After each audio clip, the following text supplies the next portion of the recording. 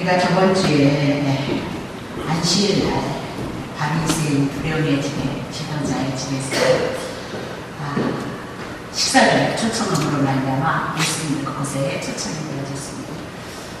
예수님께서 그 식사에 초대되어져서 보니까 식사의 자리에 상자에 앉기 위해서 서로가 이제 높은 자리를 택하기 위해서 이렇게 서로서로 붙여보면서 높은 자리를 택하더라 그렇게 얘기하는 겁니다. 그래서 예수님께서 예수님의 제자들에게 천국이란 어떤 것인지 아느냐 하나님의 은혜를 누리고 하나님의 나라를 누린다는 것은 무엇인지 아느냐 그렇게 말씀하시기를 이렇게 얘기합니다. 누가복음 14장 11절 무릇 자기를 높이는 자는 낮아지고 자기를 낮추는 자는 높아지리라 그렇게 얘기를 하고 있는 거죠. 이 세상에 누구나 힘이 있고 권력이 있고 또 능력이 있고 또 모든 사람을 다 지배하기를 원하는 것이 인간이다 그 얘기를 하고 있는 거죠. 그래서 누가 자기를 낮아지고 싶어하는 사람이 있겠느냐? 이 세상에 그런 사람 한 사람도 없다. 왜냐면 우리는 죄인이기 때문에 아담이 하나님과 같이 되어지려고 범죄를 했기 때문에 이 땅에는 자기를 낮춘 자가 없다 그 얘기를 하고 있습니다. 그걸 통해서 우리는 뭐다? 진리다 그렇게 얘기하고 있습니다. 아, 그러면 이렇게 우리가 스스로 막 겸손한 척하면 하나님이 우리를 높이시느냐? 그런 것이 아니라 모든 성경은 예수가 누구인지를 증거한다라고 말씀하시면서 이 땅의 모든 사람이 자기를 높이기를 원하고 모든 사람 앞에 군림하기를 원하는데 예수님께서 이 땅에 낮은 자로 오셔서 가장 낮은 자로 오셔서 우리를 위해서 죄인을 위해서 죽으심으로 말미암아 하나님께서 예수 그리스도를 높이셨도다. 그것이 보다. 성경의 내용이도다. 그렇게 얘기를 하고 있는 거죠. 자 빌립보서 2장 예수님께서 사람의 모양으로 이 땅에 나타나셨고 자기를 낮추시고 죽기까지 복종하시는데 복종이 뭐냐? 죄인들을 위해서 십자가에서 죽어라신 그 죽으심이도다. 그렇게 얘기를 합니다. 자 9절.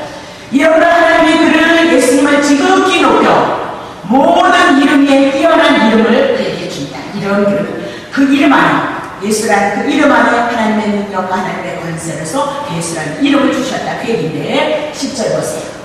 하늘에 있는 자들, 영의 세계에 속해 있는 자들, 땅에 있는 자들, 이 땅에 그리고 땅 아래 사단에 있는 사단의 세계까지 모두가 누구에게 무릎을 꿇느냐? 예수의 이름 앞에 무릎을 꿇게끔 주님이 하셨다. 그 얘기입니다. 11절.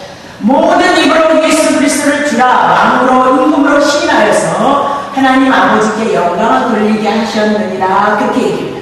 자 그럼 예수님께서 하나님의 신족이 육신을 입고 이 땅에 왜 오셨냐? 이 땅은 제 가운데 머물러 있기 때문에 사단이 우리를 붙들고 있으므로 늘 고통 가운데 괴로움을 당하는 상태이도다 그렇게 얘기를 하고 있는 거죠. 그래서 예수님이 이 땅에 사단에 묶인 거는 죄 때문이니까 죄의 문제를 해결하시기 위해서 예수님이 이 땅에 오셔서 십자가에서 우리의 죄를 위해서 죽으셨도다 그. 그래서 죄의 문제가 하나님 앞에 옮겨지니까 사단이 나를 떠남으로 오늘 예수 그리스도가 하나님의 나라를 가져오고 하나님의 은혜를 가져왔도다라고 그렇게 얘기를 하면서 오늘 예수 그리스도가 하나님이시면서 우리의 구원자 되신 것을 알고 믿는 자들에게는 하나님의 은혜가 하나님의 나라가 영생이 우리 속에서 지금 이루어져 나가고 있도다라고 그렇게 얘기를 하고 있는 거죠. 자 예수님께서 이 비유를 향해서 말씀하고 있을 때 어떤 한 사람이 이 비유의 말씀을 잘 이해를 했던 것 같아요. 자, 그래서 그 사람이 하는 얘기가 뭐냐면 15절. 함께 먹는 사람 중에 하나가 예수님이 이 말씀을 하시는 것을 듣고 이르되 무릇 하나님의 나라에서 떡을 먹는 자는 복이 있도다라고 이렇게 얘기하고 있는 거죠. 그러면 우리는 지금 예수님과 더불어 식사를 하시고 예수님이 하시는 그 말씀을 잘 이해가 되어져서 지금 자기가 하나님의 나라에 초청이 되어져서 하늘의 양식을 먹고 있도다 하나님의 나라를 누리고 있도다 생각했던 것이 누구는 유대인이었다 그 얘기입니다. 그래서 예수님께서 16절을 통해서 다시 말씀하는 겁니다. 이르시되 어떤 사람이 큰 잔치를 배상했도다라고 이렇게 얘기를 하면서 큰 잔치 이렇게 얘기하면서 예수님께서 큰 잔치에 대해서 비유를 하고요. 그러면 예수님께서 궁극적인 큰 잔치는 뭐냐? 이 땅에 예수 그리스도를 통해서 임하다 하나님의 나라가 임했단 말입니다. 천국의 하나님의 나라 하나님의 사랑이 우리 속에서 이루어져 나가고 있다. 그것을 큰 잔치로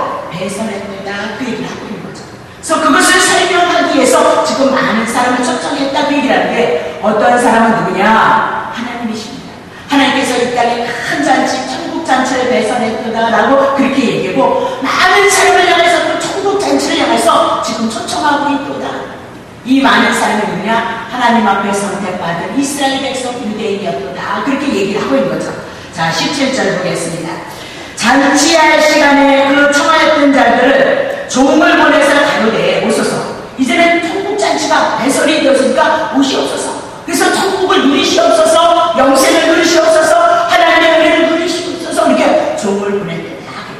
그리고 이 종은 도대체 누구이냐? 구약으로부터 신약에 이르기까지 모든 선지자들을 보낼 겁니다. 그리고 선지자를 통해서 예수가 올 것이다, 올 것이다, 올 것이다 말씀하시고 약속하신 대로 그 예수가 이미라도 신약 시대에 예수님이 오셔서 우리를 위해서 십자가에서. 그분이 곧 우리의 그리스도이시고 우리의 구원자 이기 때문에 그분에 대한 십자가에 대한 사건을 우리가 믿기만 한다면 믿어지는 역사가 성령을 통해서 우리에게 있기만 한다면 오늘 우리는 하나님의 은혜를 누린다 하나님의 사랑을 입는다라고 그렇게 얘기를 하고 있는 거죠 근데 구약의 의인된 선지자들을 향해서 그런 말 듣기 싫다 네. 이스라엘 나라가 부강해지고 이스라엘 나라가 축복받고 이스라엘 나라가 잘 되어지는 거 그런 거 얘기해 아 그렇게 얘기하므로 예수가 오셔야 이스라엘 나라 이스라엘 민족이 하나님의 나라가 구원받은 모든 무리가 생겨나는다는 그 말씀을 듣기 싫어서 의인에 대한 선지자들 다 죽여버렸다 그렇게 얘기를 하고 있습니다. 그래서 모든 선수를 죽이고 천국의 주인 되시는 예수 그리스도가 신약에 오셔서 그 예수 그리스도가 3년 만에 향해서 하나님의 나라가 어떻게 이루어지고 어떻게 형성되어지며 하나님의 잔치가 어떻게 이루어지는가를 표적과 이적과 기적을 통해서 하나님의 나라를 증거했도다 그렇게 말씀을 하고 있는 겁니다. 자 그러면 큰 잔치를 배설하고 많은 사람을 청하여서 이제 이 천국잔치, 천국이 이 땅에 임했으니까 어여여 오십시오 그렇게 얘기를 하는데 모든 사람이 다 일치하게 그 천국에 대해서 천국 잔치에 대해서 이제 사양을 했다 그 얘기를 이제 18절에서 해나가는 겁니다. 자, 18절 다 일치하게 사양을 하는 겁니다. 하나님 가로되 나는 밭을 쌌음에 불겁을 나가봐야 하겠으니 청건대 나를 용서하도록 하라 그렇게 얘기를 하죠. 자 그러면 이 사람 밭을 새로 사기 위해서 나간 것이 아니라 이미 밭을 샀다 이 얘기입니다. 이미 밭을 샀는데 밭을 산 것을 어떠한가 둘러보기 위해서 나갔다라고 그렇게 얘기해요. 이미 밭을 사놨으니까 이 밭을 보러 간 것은 나 중에 보러 가도 된다 그 얘기입니다. 근데 지금 잔치에 초청을 하는데 이미 산 밭을 보기 위해서 별로 중요하지도 않은데 뒤로 밀어도 되는데 지금 누구를 밭을 샀으니까 잔치에는 초청을 거부하고 밭으로 나갔다라고 그렇게 얘기하는 거죠. 그러니까 오늘날로 말하면 밭을 샀으니까 부동산 아니라 그 얘기입니다. 그러니까 많은 땅을 샀고 공장에 땅을 사서 그것을 매입함으로 그것이 너무너무 좋아서 갔도다 라고 그렇게 얘기를 하고 있는 거죠. 자, 19절 보겠습니다. 또 하나는 가로되 나는 소 다섯 결의를 샀음에 시험하러 가겠다. 청건된 나를 용서하라 하고 이렇게 얘기를 하고 있는 거죠. 그러면 소 다섯 결이 얘기는 소 마리 둘을 이렇게 묶어서 이렇게 쟁기를 끄는 그 쟁기를 얘기한다는 그러니까 소 다섯 결이란 결국은 어, 열 마리의 소를 가지고 있는 자도다라고 그렇게 얘기합니다. 그러니까 얼마나 부자겠냐면 열 마리의 소를 가지고 땅을 파서 농사를 짓는 일들을 하는 자가 굉장히 부유한 자더라. 근데 중요한 것은 그 소를 시험하러 갔다 얘기. 소를 사랑한 것이 아니고 지금 소를 시험하러 갔다 그 얘기는 이 소가 정말 훌륭한 소이다. 밭을 잘 가고 힘이 있고 능력이 있어서 자기에게 유익을 줄 수 있는 그런 소인가 그렇게 그것을 보기 위해서 잔치 측정을 거부하고 그리고 핑계를 대고 이제 그의 관심은 어디에 있냐? 온전히 소에 있었구나 그렇게 얘기를 해 나가고 있는 거죠. 자 이런 모든 것들은 지금 여러분과 나는 온전히 유대인을 향해서 말씀 보내신다 보내신다 보내신다는 그 예수가 이미 오셔서 예수가 구원을 이루시겠구만 우리의 세상의 근심과 걱정을 향해서 하나님의 은혜를 덧입혀 주시겠구만 오신 예수가 그리스도심을 보지 못함으로 알지 못함으로 말미암아 세상 일에 묶여서 열심히 하나님을 기도하고 자기를 위해서 자기의 힘을 쌓는 그 삶을 사는 것을 말씀하고 있고 그것이 뭐냐? 유대인이고 여러분과 나이도다라고 그렇게 얘기를 하고 있는 거죠. 자, 20절 보겠습니다. 또 하나님 가로되 나는 장가 들었으니 그러므로 가지 못하겠노라 그렇게 얘기를 하고 있는 거죠. 그래서 장가를 새로 들어간다는 것이 아니라 이제 장가를 들었기 때문에 아내가 있다 그 얘기입니다. 그러니까 유대인들의 문화 속에는 잔치가 언제 이루어졌냐? 저녁에 일어나는 겁니다. 그러니까 저녁에 일어나니까 저녁에 달래는 아내를 데리고 가면 되는데 아내를 데리고 가고 싶지 않았던 거예요. 그래서 밤에 갈래니까 아내를 두고 갈래니까 자기는 잔치집에 가지 못하겠도다라고 이렇게 핑계를 대고 있는 것이구나 오늘 본문의 말씀이도다라고 그렇게 얘기를 하고 있는 거죠. 이 세 가지의 모든 일들을 통해서 하나님 이것은 부실이도다 핑계대도다라고 그렇게 얘기하면서 분명히 이 땅에 우리 육신의 삶을 살기 위해서는 정말로 중요한 일들이도다라고 이렇게 잔치집에 가는 것은 안 가는 것은 분명히 범죄 행위는 아니다 그 얘기를 하고 있는 거죠. 그렇지만 중요한 것은 이 모든 만물을 누가 만들었느냐? 하나님이 만드셨다. 만물의 주관자가 누구냐? 하나님입니다. 그 만물의 주관자를 하나님께서 예수 그리스도에게 모든 권세를 베푸셔서 이 모든 역사의 모든 주관을 누가 예수님이 나가신다. 우리 신앙이 내주게 아니라 하나님께로부터 시작이 되어서 하나님의 뜻 가운데 능력 가운데 있다가 하나님께 돌아간다 그 얘기. 그것을 아는 것이보다 신앙이도다 그렇게 얘기를 하고 있는 거예요. 그러면 여러분이 창세 전에 하나님 앞에 택함을 받았으니까 하나님의 계획 가운데 여러분의 인생이 있다는 것을 여러분이 아셔야 돼요.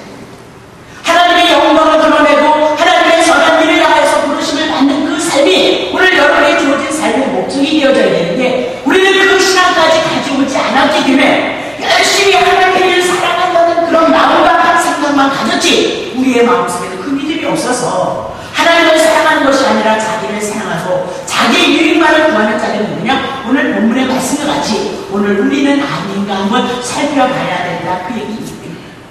이메라가 예수가 오셔서 천국이 되어졌지만 그 예수를 바라보지 못하고 유대인들은 예수를 버림으로 이스라엘이 망했다는 사실을 여러분이 기억하셔야 된다는 겁니다.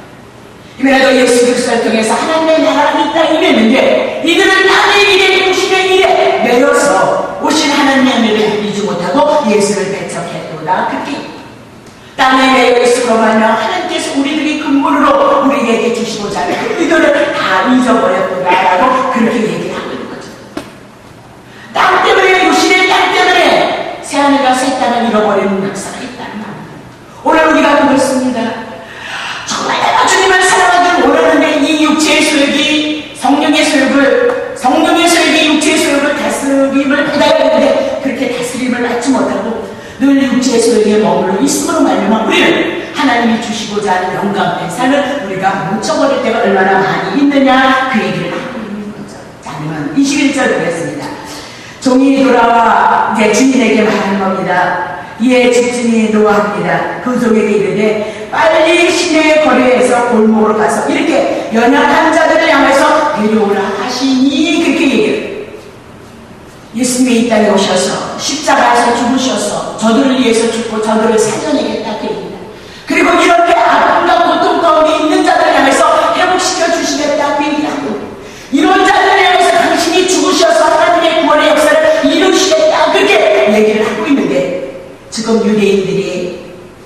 백성들이 바리새인들이 서기관들이 그 예수님을 알아보지 못하고 배척하고 온전히 자기의 삶을 위해서 열심히 살아내더라라고 그렇게 얘기를 하고 있는 거죠.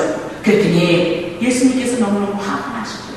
지금 노하셨구나라고 그렇게 얘기를 하고 있죠. 그래서 종에게 이르되 빨리 시내에 가서 이제는 거리와 골목으로 나가서 그렇게 얘기해서 거리란 큰 거리 광장을 얘기하고 골목은 좁은 거리를 얘기하고 그래서 이렇게 고난 가운데 집 가운데 있는 자들 빨리 빨리 불러라 이 천국 자리에 참여를 시키도록 하라 그렇게 얘기를 하고 있는 거죠.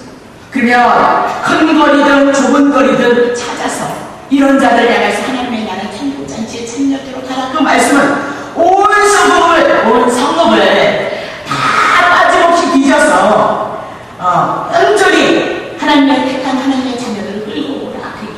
이 얘기는 오늘 하나님 앞에 여러분이 택한 자이라면 세상 밖에서 또 택한 자가 있다면 끊임없이 하나님은 온전히 한 사람도 빠짐없이 당신이 천국잔치에 그 그들을 불러드릴 것이다. 그렇게 말씀을 하고 있는 거죠.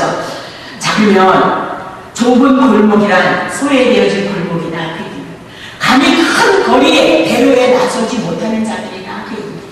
오늘 이스라엘 백성은 하나님의 율법을 지킴으로 복을 받는 줄 알았습니다.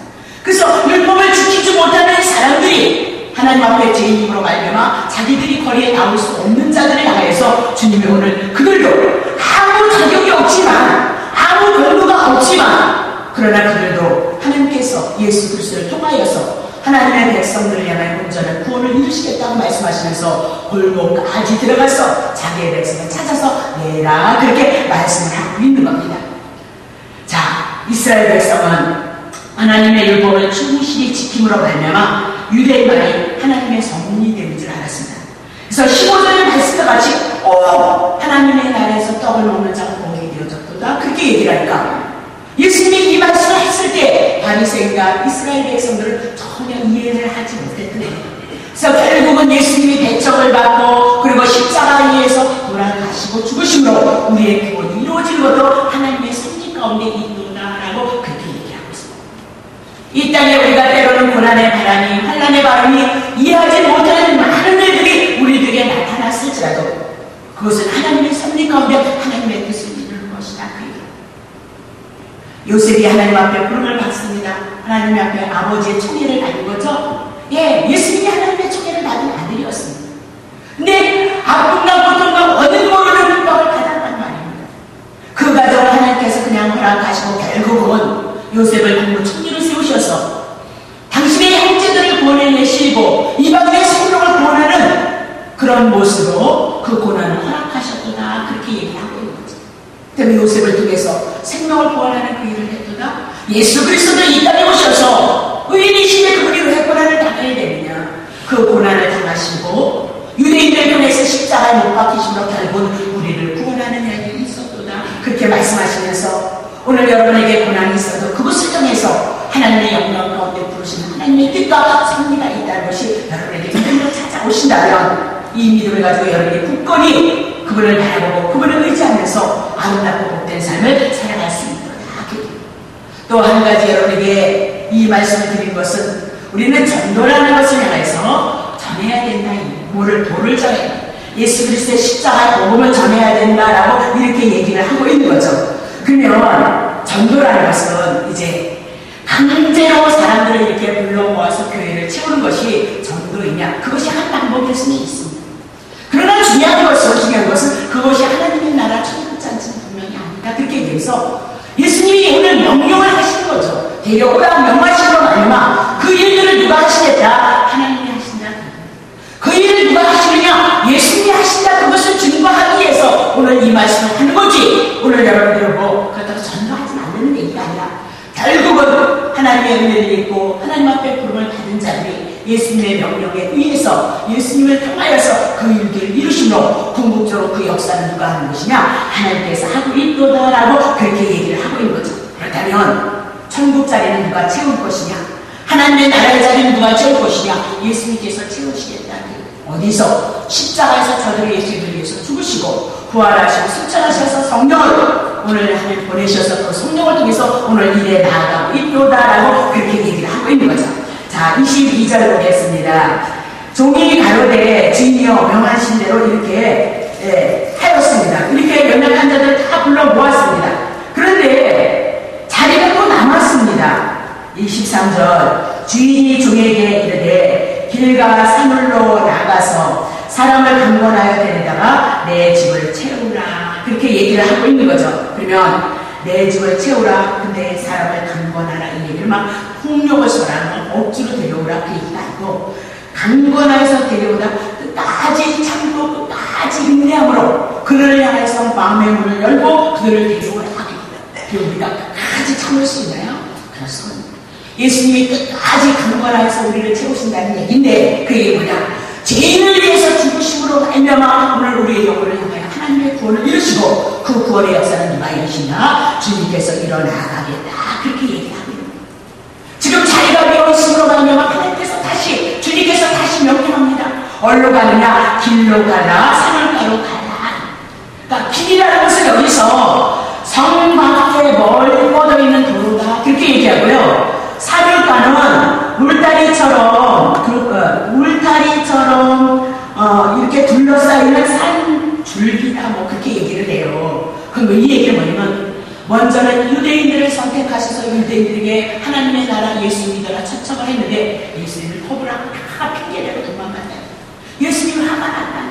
그래서 누구를 들여 이렇게 연약한 자들을 데려다가 내 집에 채우라 그렇게 얘기했는데 채워졌단 말이에요. 근데 아직도 자기가 남아있는다 그 얘기는 하나님의 구원이 이스라엘 백성들에게만 있는 것이 아니고 이방인에게도 또한 하나님의 복음이 있을 것을 말씀하고 있다. 그래서 그 복음이 오늘 우리에게 들어온 겁니다. 예수를 믿음으로 말며 이방인의 복음이 들어와서 오늘 우리가 하나님의 나라를 누리고 구원을 누려가고 있도다라고 이렇게 얘기를 하고 있는 거죠.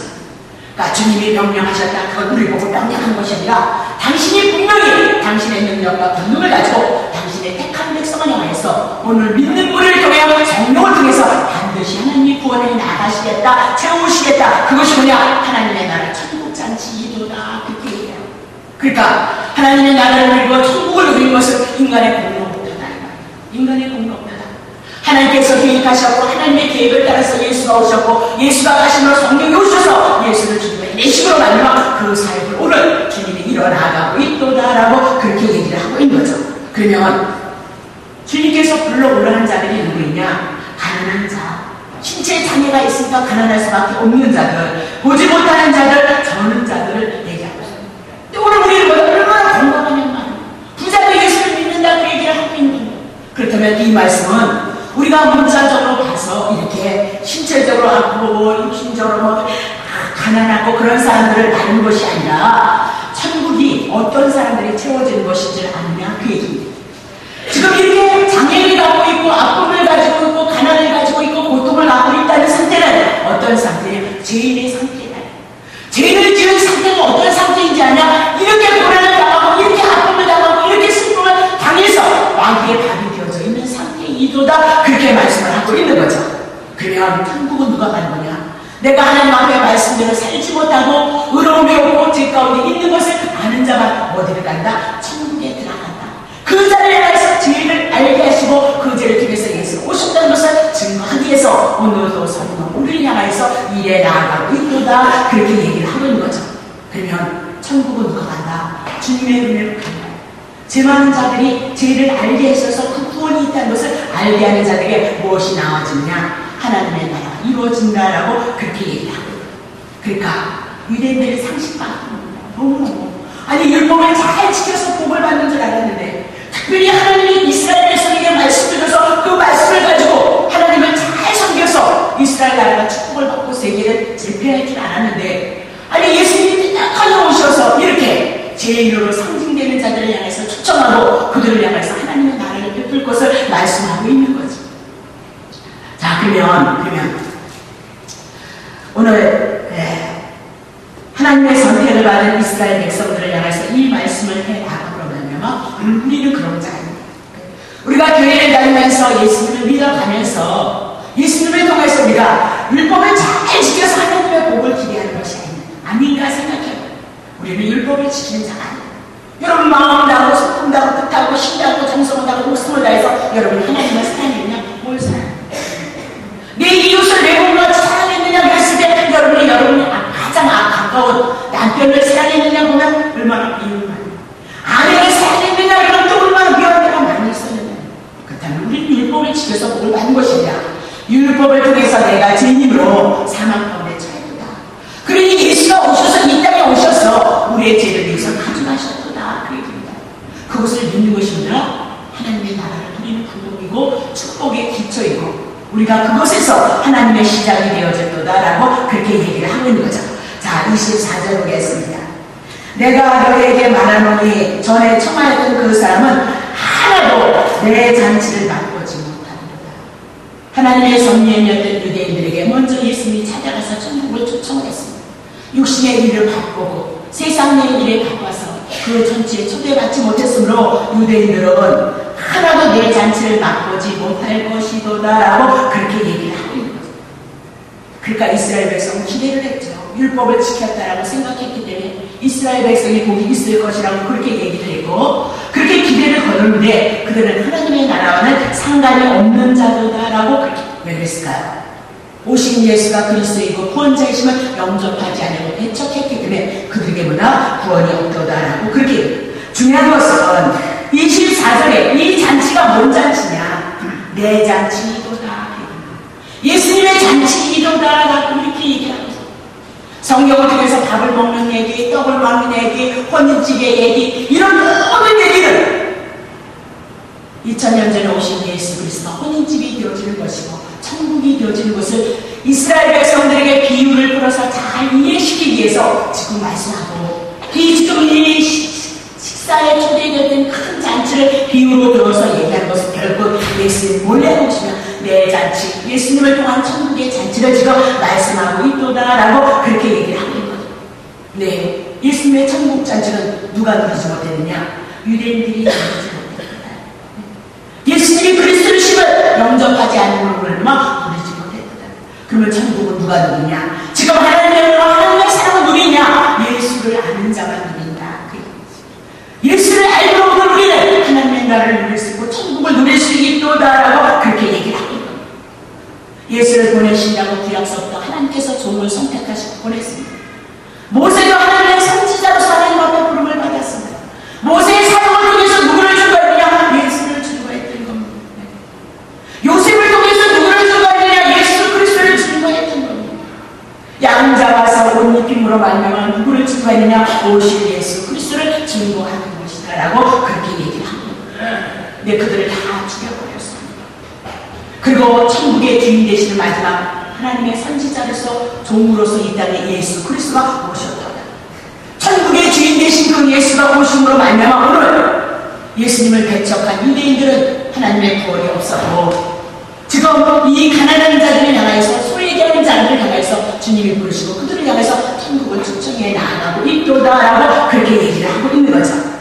그것을 보여주시기 위해서 예수님은 이 땅에 오셔서 가장 세리라는 창기라는 그런 자들과 너로 식사를 하심으로 천국이라는 것이 어떤 나라이냐 그것을 그 성격을 우리들에게 설명해 주는 거죠.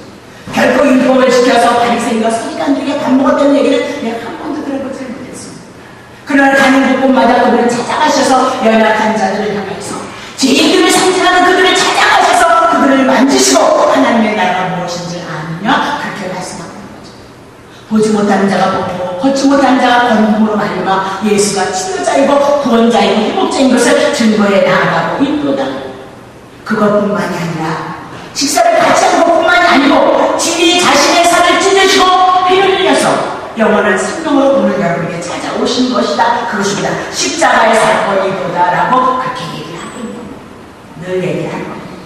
여러분의 성경을 통해서 하나님의 말씀을 들을 때 예수님에 대한 말씀을 들어서 열 가지를 10%를 여러분 예수님에 대한 말씀을 듣는다면 여러분 영혼의 양식, 천국을 누린 것은 10%입니다.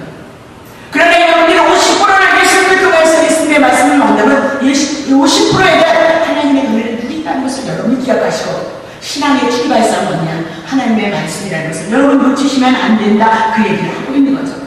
계시록에 보면 어린 양 혼인잔치에 참여한 자들이 복이 있다. 어린 양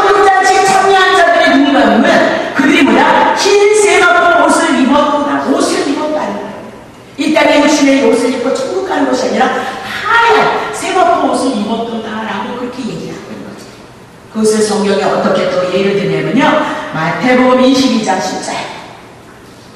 내가 너희에게 말하노니 예, 종들이 길에 나가 악한 자나 선한 자나 만나는 대로 모두 들여오니 혼인자의 손이 손님이 가득했다. 그러니까 하나님의 나라 천국을 누리는 악한 자든 선한 자든 모두 하나님 앞에 보라 초청을 받는다 이 말이야. 11절. 임금이 손을 보러 손님을 보러 잔치집에 온 손님들을 보러 들어올세 거기서 예복을 입지 않은 한 사람이 보이는 겁니다. 예복을 입지 않았습니다. 자 가로대 친구에 어찌하여 예복을 입지 않고 여기 들어왔느냐 하니 저가 말을 없이 아무 소리도 하지 않는 거죠. 13절 임금이 종들에게 불러서 말하되 그 소득을 결박해서 바깥 어둠에 결국은 지옥불에 던져 넣어라. 거기서 그는 슬피 울며 이를 가지고 있을 것이다 라고 그렇게 말씀하고 있는 거죠. 그러면 혼인잔치를 해나가는데 예복을 입지 않은 사람이 있었다. 그 얘기입니다. 자 그러면 예복이라는 것은 잔치집에서 올 손님들을 초대를 하는 겁니다. 초청을 하는 겁니다. 초청을 해서 올 손님들을 향해서 잔치집 주인이 모든 옷을 잔치집에서 입을 혼인의 예복을 다 준비한다 이 말입니다. 그래서 오는 사람마다 초청하는 사람마다 그 예복을 준다 그 얘기를 하고 있는 거예요. 그러면 오는 사람들은 주인에 의해서 옷을 받아 입고 그 옷을 입는 거죠. 그러면 그것이 뭐냐? 은혜다 그 얘기를 하고 있는 겁니다. 은혜다. 그러니까 잔치집에 오는 사람은 자기 할 일이 아무것도 없어요. 그냥 오기만 하면 되는 거예요. 그러면 주인이 옷을 만들었다가 옷을 입힌다 이 말입니다. 그것이 유대인의 문화이다 이 말입니다. 그렇다면 오늘 그것을 통해서 하나님의 나라를 비유로 말씀합니다. 오늘 하나님의 나라를 여러분들을 향해서 초청하는 겁니다. 초청함으로 말하면 여러분들이 오셔서 예수님이 우리를 위해서 십자가에서 죽으셔서 우리의 죄를 가져가시고 예수님이 부활하셨으면 우리가 같이 부활의 생명을 얻어서 우리가 얻어묻었다는 것을 믿음으로 말미암아 오늘 그것을 믿는 자에게 의의 옷을 입혔도다라고 그렇게 얘기하고 있는 거죠. 하나님의 나라는 우리의 공화 아닙니다. 예수님이 우리를 위해서 죽으시고 우리를 위해서 부활하시고 성령으로 그것을 증거할 때마다 우리에게 믿어지게 하셔서 하나님의 은혜와 하나님의 사랑이 내 영혼 속에 덧입혀지므로 말미암아 그 예수를 믿는 것을 갖다 혼인집에 예복이도다 그렇게 예수를 통해서 거저주신 그 은혜를 입지 못하고 믿음이 이어지지 않은 자는. 그러나 택한 자는 반드시 하나님께서 당신의 백성을 불러서 이몸 안에 하나님의 구원이 무엇인지를 알게 하신다라고 그렇게 말씀하시고 그것이 보다 오늘 하나님의 나라를 이루는 것이다 라고 그렇게 얘기를 하고 있는 겁니다. 우리는 정말 예수님에 대한 그 은혜가 우리에게 많이 와지고 그 사랑을 많이 깨달아서 내가 감사함으로 하나님을 누리는 것이다 천국이구나 그렇게 얘기를 하고 겁니다. 아무리 얘기를 해도 머리는 지식이니까 많으니까 들어오는데 그것이 내 가슴에 우리를 믿겨지지 않는다면 우리는 기도를 해야 됩니다. 지금도 어떤 사람은 하나님의 은혜를 누리고 국권이 어려운 가운데서도 해당 가운데서도 그 예수를 바라보고 그 천국을 소망하면서 가는데 나는 오늘 이렇게 세상으로 분주함으로 말미암아 하나님을 등대로 하고 내 중심으로 내 삶을 살아가고 있다면 나의 근본이 하나님께로부터 왔다는 것을 인정하지 않는 연약한 믿음 안에 있다는 것을 여러분이 기억하시고 정말 그분의 은혜를 누리고 그분의 사랑을 이 땅에 믿으면서 하나님의 선한 일을 누려가기를 원하십니까? 그렇다면 하나님의 말씀 속에 들어오셔야 되고 이 말씀을 들어서 여러분에게 잘 이해해 수 있도록 여러분들이 읽을 수 오셨으면 너무너무 좋겠고 못 오시면 인터넷을 보시면 좋겠고 이제 인터넷이요 네. 목사의 마음을 누가 알아주겠어요? 목사의 마음. 제가 그, 그 그렇게 하, 우리 인준이 전도사가 있을 때 예, 걔는 저를 닮아서 좀 둔해요. 그내 마음을 헤아리지 않는 거야. 물론 뭐 소리가 막 웅웅장장 했다 그랬는데 그래서 내 마음은 열심히 준비해서 하나님의 말씀을 가르쳐서 금요일날도 나가고 수요일날도 나가면 보는 사람들이 분명히 있으면 한 영혼이 예수님을 바로 알아서 바로 섬기면 그냥 둘이 하나도 몇번 잔소리라도 안 해. 그러니까 할 수 없다 그러고 내려놨는데 이제 이 인터넷이 요한계시록도 나가고 계시록도 나가고 수요일날 것도 나가는 것 같아요. 수요일날 거는 안 되는데 계시록 두 번이 나갔어요. 아들이 내 마음, 목자의 마음을 몰라주시 내가 하나님 앞에 얘기하는 내가 어찌 하나님의 마음을 헤리고 예수님을 버린 마음을 내가 알겠습니다. 주님 용서하세요. 그러나 내가 한 가지 소원이 있다면 그거 한 가지 소원을 삼고 내가 주어진 생애 동안 그것을 이루기 원하는 것을 주님이 아시니까. 네. 그러니까 여러분 인터넷을 통해서도 예수를 아셔야 된단 말이에요. 자, 하나님의 나라는 여러분이 하나님 말을 알아서는 천국에 못 들어갑니다. 예수님 하나님의 아들 예수를 아셔야만 하나님의 나라를 누립니다. 예수님만이 하나님의 마음을 담고 온 겁니다. 예수가 하나님의 사랑을 믿고 온 겁니다. 예수님만을 통해서 하나님의 은혜를 알고 예수님을 통해서 하나님의 사랑을 아는 겁니다. 근데 여러분들이 아, 하나님 믿음을 내주고 다니다면 성경에서 예수를 보내신 그 예수를 통해서 하나님을 알게 하시는데 여러분들에게 예수가 없다면 예수님을 알지 못한다면 하나님의 나라를 누리지 못한다. 우리는 그저 마음으로 누리고 누리고 누리고 될 것 같고 될 것 같고 다음에 될 것 같고 다음에 될 것 같고 내년에 그런 일은 안 됩니다. 조금 더 열심을 내셔서 벌써 이제 10월달 중순이 되어져 버렸습니다. 중순이 되어지는 하나님 오늘 우리에게는 예, 한살 더 먹는 것을 준비를 해야 됩니다. 그렇다면 오늘 우리들의 주어진 그 하나님의 나라 풍요롭기 위해서는 여러분들이 예배에 잘 참석하시고 인터넷에 말씀을 보시든지 여러분의 삶에 터전해서 그걸 통하여 하나님의 은혜를 천국을 누릴 수 있는 여러분이 되시를 예수님의 이름으로 축복합니다. 야고보서 4장 9절만 더 보겠습니다. 자, 내일을 너희가 알지 못하거나 너희의 생명이 무엇이뇨? 너희는 잠깐 있다가 없어지는 안개와 같은 존재. 그 존재를 향하여서 예수님이 이 땅에 오셔서 우리를 위해서 죽으시고 영생을 주신 겁니다. 그분의 은혜가 이 땅에서 그분의 은혜를 우리는 누릴 수 있습니다. 다른 곳으로 가지 마십시오. 성경을 하는 데 보십시오. 그리고 그 말씀이 여러분 속에서 운행되어져서 역사를 이룰 것입니다. 내일 우리가 갈지도 모릅니다. 그러면 지고 눌리고 있다가 간 것이 아니라 오늘 한 생명 한 생명 안에서 오늘 하루를 천국을 누리고 여러분의 가정 속에 여러분 자녀들에게 예수를 심어주시고 그리고 가시면 그냥 천국인 겁니다. 네? 그것이 여러분 속에서 소망이 되어지고 풀어셔야 됩니다. 자, 고린도후서 6장 2절입니다. 가라사대 내가 은혜 베풀 때 너를 듣고 구원의 날에 너를 도왔다 하셨으니 보라 지금은 은혜 많을 만한데요. 보라 지금은 구원의 날입니다. 그 구원의 날 속에서 하나님의 은혜를 입으십시오. 내일은 어떻게 될지 모르는 겁니다. 부끄러운 가운데, 집 가운데서 연약한 가운데 병을 받고는 기꺼이 싸워서 하나님의 나라를 위해서 하나님의 은혜를 인하여 내가 감사하고 즐거워하고 여러분 축복합니다.